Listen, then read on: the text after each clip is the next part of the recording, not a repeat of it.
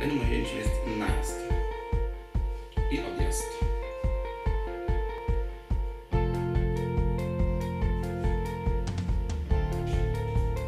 Czyli przesuwamy aparat wzdłuż osi obiektywu.